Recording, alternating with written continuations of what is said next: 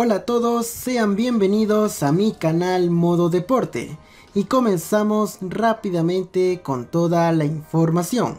Por la fecha 4 de las eliminatorias a Qatar 2022, Uruguay se enfrenta a Brasil. Sin Neymar por lesión, el líder del certamen clasificatorio afronta su más difícil examen hasta ahora ante un fortalecido Uruguay que también sufrirá una sensible baja tras dar positivo Luis Suárez. La última vez que ambas escuadras se enfrentaron en Uruguay, la victoria fue para el Scratch y es que apeló a toda la magia de Neymar y Paulinho para cerrar un contundente 4-1 que los dejaría a pie de clasificación a Rusia 2018.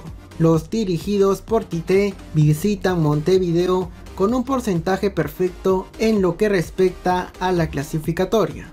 De tres partidos jugados, tres ganados. Mientras que por otra parte los del maestro Tavares llegan con un ánimo en alto tras vencer a Colombia en su casa por tres tantos a cero.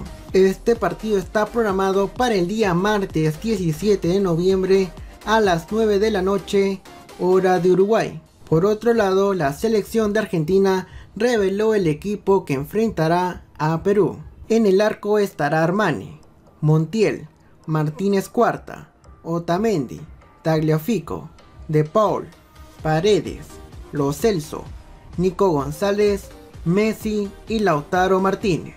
Ojo, Argentina viene de empatar 1 a 1 contra Paraguay, mientras que Perú cayó 2-0 en su visita a Chile. En otras noticias, el Barcelona busca ampliar contrato a Dembélé el francés tras la lesión de Ansu Fati tomó mayor fuerza para ser importante en el plantel. Por ello no permitirá su salida durante el próximo mercado invernal en Europa. En los próximos días existirá el acercamiento con su representante para dar a conocer la intención de retenerlo hasta el 2022. Y por último y no menos importante, Lautaro Martínez está en agenda del Manchester City.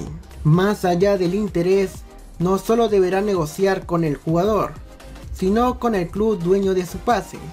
El Inter buscará venderlo al mejor precio, y eso ya lo hizo saber, pues no aceptará menos de 111 millones de euros. Bueno, si te ha gustado este video, apóyame con un pulgar arriba, comenta y suscríbete para más información.